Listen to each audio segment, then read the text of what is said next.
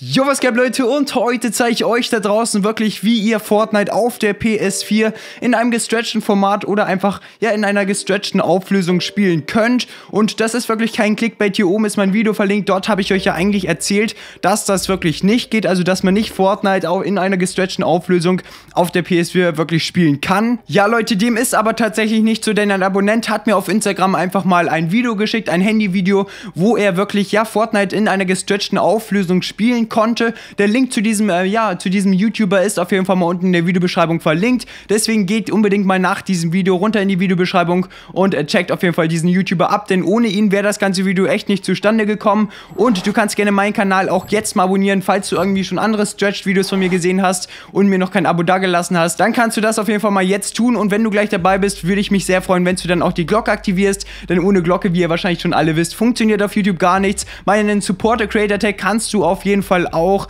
in Fortnite im ja, Supporter Creator Programm eingeben. Das würde mich sehr, sehr freuen. Dieser lautet nämlich FAR-Gaming und dann ist der ganze Support schon getan von euch. Jetzt würde ich schon sagen, geht's hier direkt mal mit dem Video los und äh, ja, peace. Leute, bevor dieses Video hier aber beginnt, wollte ich euch da draußen nochmal ganz schnell und kurz eine Webseite vorstellen namens randomspin.com und den Link zu dieser Website, den findet ihr auf jeden Fall auch unten in der Videobeschreibung verlinkt. Deswegen vergesst auf gar keinen Fall hier nach diesem Video diese Website abzuchecken. Und Leute, und auf dieser Webseite angekommen kommen, kann man sich hier erstmal registrieren. Also man muss ganz schnell, das geht wirklich ganz schnell. Hier gibt man schnell einen Benutzernamen ein, ein Passwort, dann die E-Mail-Adresse und dann muss man nochmal das ganze Passwort bestätigen und hier nochmal hier Recapture. Ich denke, das kennt ihr alle, dass man natürlich kein Roboter ist. So, ich mache das Ganze und wir sehen uns dann direkt mal äh, wieder, wenn ich mich hier schnell registriert habe und äh, ja, bis gleich. Leute, ich bin jetzt hier auf Random Spin in meinem Account drinnen und ich gehe jetzt hier einfach mal auf Case öffnen, um euch das Ganze ein wenig zu demonstrieren. Man hat am Tag, wie gesagt, wirklich drei kostenlose kostenlose Cases. Hier, ich öffne jetzt einfach mal so ein Case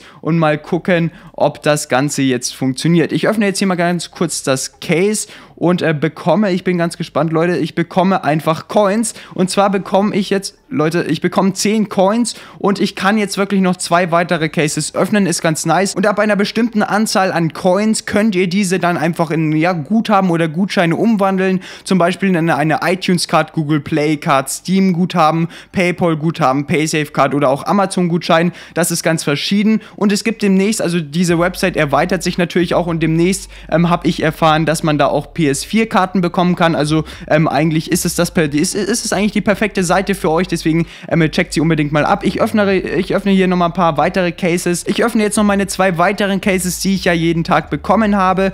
Und ähm, jetzt let's go und wir gucken mal, was ich jetzt hier bekomme. Na klar, es können auch Nieten drin sein, aber ich sag mal, größtenteils sind äh, wirklich nur Coins drin und Gewinne. Und ich habe jetzt hier wieder fünf Coins erhalten. Das ist mega, mega nice. Ich habe jetzt insgesamt schon 15 Coins. Ich kann jetzt hier noch ein normales Business Case öffnen. Und was ich nochmal ansprechen wollte, ist einfach, dass das Ganze wirklich zu 100% kostenlos ist. Also man muss jetzt kein Geld ausgeben, damit man irgendwelche Coins bekommt. Das wäre auch eigentlich ein bisschen unlogisch, weil man äh, ja eigentlich für die Coins dann Guthaben bekommt. Also ähm, das Ganze ist kostenlos. Ich stehe auch zu 100% hinter dieser Website. Ich habe jetzt hier auch bei meinem letzten Case mal eine leere Schachtel gezogen. Gibt es natürlich auch mal, aber ich meine, ich habe zwei von drei Kisten. In zwei von drei Kisten habe ich auf jeden Fall was gezogen. Und ich kann euch diese Website, wie gesagt, nur empfehlen. Checkt sie unbedingt unbedingt nach diesem Video ab und jetzt wünsche ich dir noch ganz viel Spaß hier mit dem weiteren Video und ja, let's go!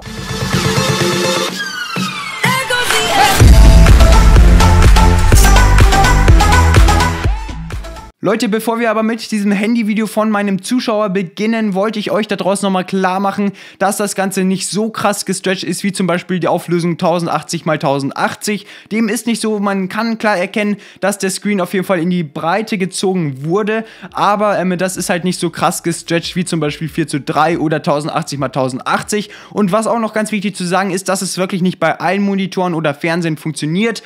Ähm, er wusste auch nicht ganz, woran es liegt. Er hat mir nur mal in die Kommentare geschrieben, geschrieben, dass er persönlich einen 16 zu 10 Monitor besitzt oder einen 16 zu 10 Fernseher halt und dass es bei ihm halt funktioniert hat und bei seinem Freund hat es auch funktioniert. Dieser besitzt auch einen 16 zu 10 Monitor bzw. Fernseher. Bei seinem Bruder hat es aber nicht funktioniert, das war ganz komisch. Der besitzt nämlich einen 16 zu 9 Monitor. Ich weiß nicht, woran es wirklich liegt, ähm, warum man wirklich das jetzt hier nur auf 16 zu 10 einstellen kann.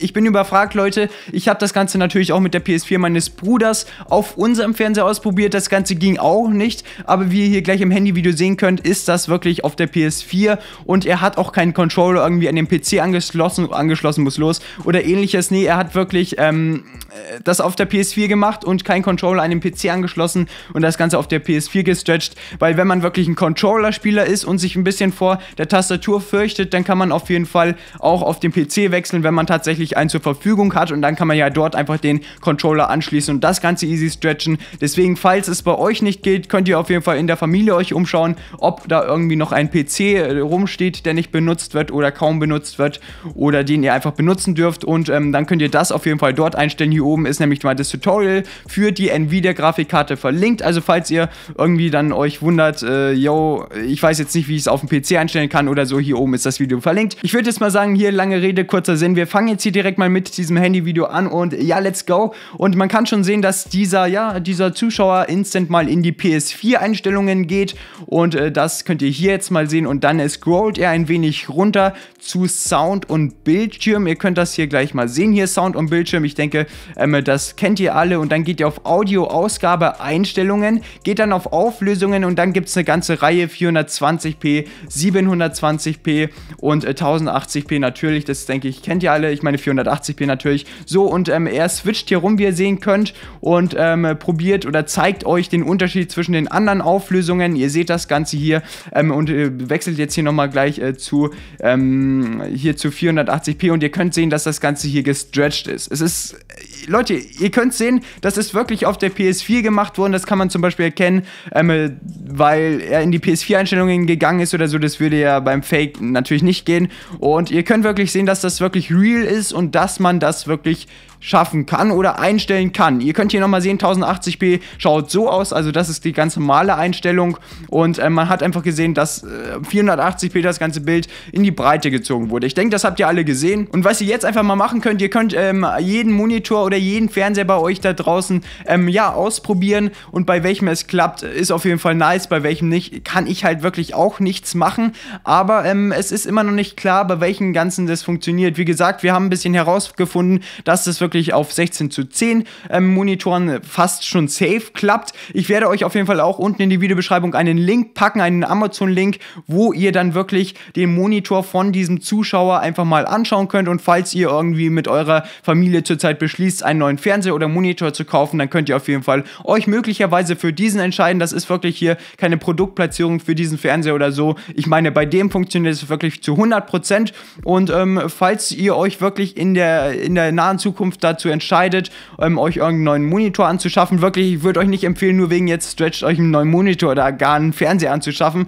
Ich würde es euch nur empfehlen, wenn ihr wirklich äh, euch noch nicht im Klaren seid, was ihr in, in der Zukunft hier für einen Monitor haben möchtet und euren Eltern das eigentlich ziemlich egal ist, dann würde ich euch vielleicht mal empfehlen, mit euren Eltern zu reden, falls äh, diese halt in der Zukunft haben, einen, einen neuen ja, Monitor zu kaufen, Leute. Und das war es jetzt hier tatsächlich schon mit diesem ganzen Tutorial. Ich würde es euch nochmal ähm, kurz erklären. Und zwar geht ihr einfach in die PS4-Einstellungen, geht dann zu Sound und Bildschirm und dann einfach auf ja, Format und dann könnt ihr auf jeden Fall die ganzen Formate oder Auflösungen ja ändern. Also es gibt äh, 480p, es gibt 720p und es gibt 1080p und ich kann euch wirklich nur empfehlen, ja dann 480p mal auszuprobieren, Leute. Ich weiß nicht, ob es wirklich bei jedem von euch klappt. Mich würde jetzt noch persönlich sehr interessieren, ob es bei euch da draußen geklappt hat und wenn ja, mit welchem Monitor, also 16 zu 9 oder 16 zu 10. Lasst es mich doch gerne mal in den Kommentaren wissen.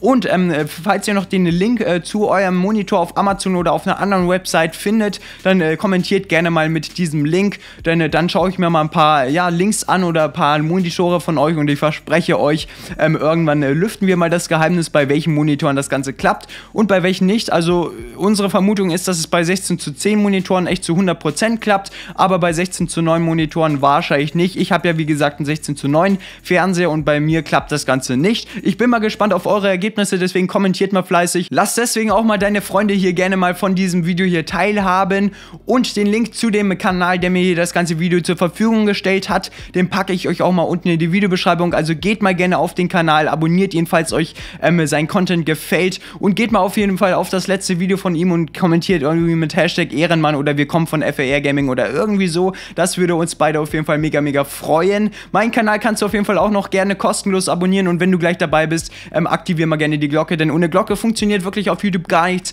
Du bekommst keine Benachrichtigungen mehr zu Skin-Kombis oder zu neuen Stretched-Videos oder ähnliches. Deswegen ähm, aktiviere unbedingt die Glocke, falls du dies noch nicht getan hast. Ähm, ich würde mich noch sehr freuen, falls du wirklich mein Creator-Tag in Fortnite eingibst. Dieser resettet sich tatsächlich jede zwei Wochen, deswegen kannst du jede zwei Wochen diesen Tag erneut eingeben. Dieser lautet, wie gesagt, äh, nochmal FAR-Gaming, alles zusammen und äh, dann unterstütze mich tatsächlich mit jedem getätigten Kauf. Ich spare zurzeit auch auf einen neuen PC und wenn ich diesen wirklich habe, da, hab, dann gibt es einfach unglaublich fette Streams wieder. Ich persönlich freue mich auch immer sehr über euren Support, wirklich jeglicher Art. Das ähm, unterstützt mich einfach so krass und äh, ich kann euch nur raten, äh, behaltet das auf jeden Fall alle bei, denn ich finde, Gönnen ist was ganz Wichtiges so im Leben und damit wir euch schon sagen, vielen, vielen Dank, dass du wirklich ein bisschen dran geblieben bist. Ja, haut rein und äh, Peace.